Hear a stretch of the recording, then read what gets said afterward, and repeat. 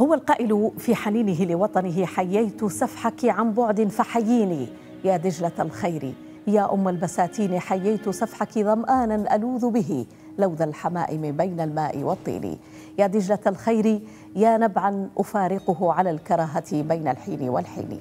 نتحدث اليوم أيها المشاهدون عن شاعر العرب الأكبر وثالث النهرين دجلة والفرات محمد مهدي الجواهري. نهر ينساب شعرا ويتدفق بيانا. ولد محمد مهدي الجواهري في السادس والعشرين من يوليوز عام 1899 بمدينة النجف العراقية من أسرة دينية. جده كان فقيها. صاحب كتابه الشهير جواهر الكلام في شرح شرائع الإسلام. والذي اقتبست الأسرة لقبها منه أما والده. فقد ابتدأ حياته شاعرا وانتهى فقيها. فسعى سعي حثيثا ليصنع من ابنه محمد مهدي الجواهري رجلا يسير سيره. ليرجع على يده أو يرجع على يده مجد العائلة الجواهرية في الفقه والزعامة الاجتماعية كما قال ذلك مهدي الجواهري في مذكراته. عرف الجواهري بقوة الذاكرة وسرعة الحفظ، كان يحفظ في كل يوم خطبة من نهج البلاغة وقصيدة من ديوان المتنبي ليبدأ الفتى بالحفظ طوال نهاره ويمتحن في آخره. أظهر أيضا الجواهري ميلا منذ الطفولة إلى الأدب فأخذ يقرأ في كتاب البيان والتبيين ومقدمة ابن خلدون ودواوين الشعر تأثرا ببيئته وموهبته الكاملة. في عام 1917 سيتوفى الوالد فيدرس الجواهري البيان والمنطق والفلسفة ويقرأ كل شعر جديد سواء كان عربيا أم مترجما عن الغرب. سيعين الجواهر معلما معلما بمدرسة المامونية في بغداد أواخر عام 1931 وسيتنقل بين الصحافة والسياسة بالعراق فقد اشترك في ثورة العشرين ضد الاحتلال البريطاني واعتقل عدة مرات بسبب نشاطه السياسي وانتخب أول رئيس لاتحاد الأدباء العراقيين ونقيبا للصحفيين ونائبا عن محافظة كربلاء. أصدر صحف الفرات الانقلاب الرأي العام وصدى الدستور والجديد والجندي.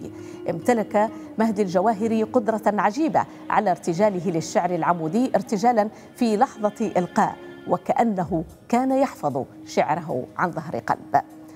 أول دواوينه كان حلبة الأدب عام 1923 وهو مجموعة معارضات لمشاهير وشعراء عصره كأحمد شوقي إليا أبو الماضي لبعض السابقين أيضا كلسان الدين بن الخطيب وابن التعاويذي ومن ثم ظهر له ديوان بين الشعور والعاطفة الصادر عام 1928 ديوان الجواهر في ثلاثة أجزاء وأيضا بريد الغربة وبريد العودة أيها الأرى وخلجات وغيرها من الأعمال الشهيرة. يتصف شعر الجواهري كما يقول الأدباء والنقاد بمتن النسج في إطناب ووضوح وبخاصة حين يخاطب الجماهير لا يظهر فيه تأثر بشيء من التيارة الأدبية الأوروبية وتتقاسم موضوعاته المناسبات السياسية والتجارب الشخصية وتبدو في كثير منها الثورة على التقاليد من ناحية وعلى الأوضاع السياسية والاجتماعية من ناحية أخرى. عاش الجواهري فترة من عمره مبعدا عن وطنه العراق حيث غادره عام 1980 وتنقل إلى إبراق والعديد من العواصم الأوروبية والعربية التي فتحت أبوابها للجواهري في مقدمتها المغرب الذي وشحه بطوق الكفاية الفكرية إضافة إلى مصر والأردن لتكون دمشق مقامه الأخير بعد أن قضى أكثر من 98 سنة. وعلى شاهدة قبره كتب التالي. يرقد هنا بعيدا عن دجلة الخير وتحتها قصيدته الشهيرة يا دجلة الخير. محمد مهدي الجواهري لم يخشى الموت بل خاطبه حتى قبل أن يلقاه قائلا.